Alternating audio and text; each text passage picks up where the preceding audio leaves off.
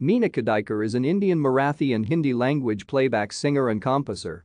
She is the second eldest daughter of P.T. Deenanath Mangeshkar and sister of singers Lata Mangeshkar, Asha Bhosle, Usha Mangeshkar and Hridaynath Mangeshkar.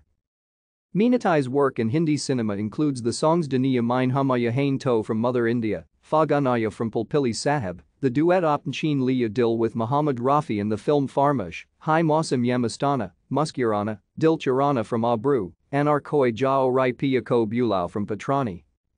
But she's best known for composing music for the Marathi industry, including a popular kids song and album Asawa Sundar Chakalateka Bungla, which was later recorded in Bengali and Gujarati too. Meena's children Yajash and Rachna sang the original song.